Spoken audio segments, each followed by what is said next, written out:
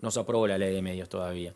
Hace un año y medio que venimos tratando de aprobarla y lamentablemente eh, después de un año y medio de venir porque consideramos, y había un compromiso de todos los líderes políticos, de todos los partidos, de la coalición de gobierno, de derogar esta ley, la 19307 ha sido una ley que ha sido muy perjudicial, es una ley intervencionista de los medios, intervencionista de los contenidos, excesivamente regulatoria, una ley, yo digo caribeña, con el mayor respeto, ¿no? importada de otros lados, donde se ha venido cayendo y donde en otros lados que inclusive la utilizaron durante muchísimo tiempo, hoy ya la están reformando a países como Argentina mismo, que la utilizaron, la copiaron de Venezuela, hoy mismo ya la están reformando, no, en Uruguay la quieren seguir manteniendo.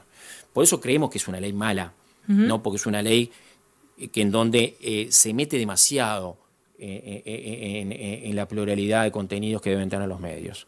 ¿no? Eso no quiere decir que dejemos que pase cualquier cosa, ni que liberemos la cancha para cualquier cosa. Estuvimos a punto de llegar a un acuerdo en cantidad de temas, eh, y eh, lamentablemente Cabildo Abierto, último momento, presenta 11 artículos de último momento relacionados a la publicidad electoral, que no era el objetivo, que no era lo que pretendíamos, porque por algo hay una comisión en el Parlamento trabajando en ese sentido.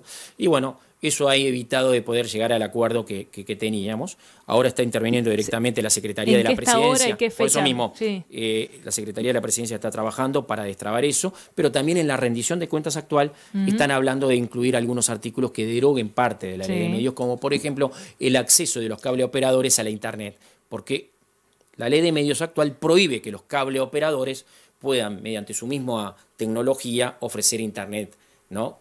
Cosa que pasa en todos los países del mundo. Hace 20 años que los cable operadores en todas las partes del mundo, hasta en la China popular, comunista, brindan eh, Internet eh, en, el cable. En sus servicios. Mm. Y eso no es ir contra Antel.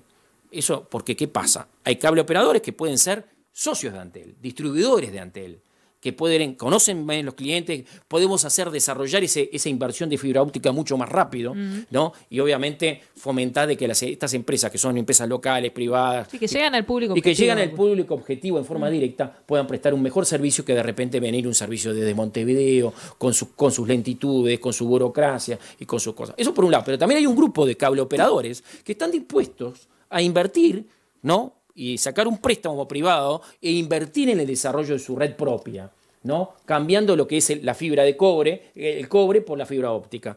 Y lo quieren hacer a su costo. ¿Y se lo vamos a prohibir? Entonces, eso es una de las cosas que puede en la rendición de, medi en la rendición de cuentas estar por, por, plantearse en el Senado de la República y podemos tener novedades. No hay fecha. no hay, Pero estamos cerquita.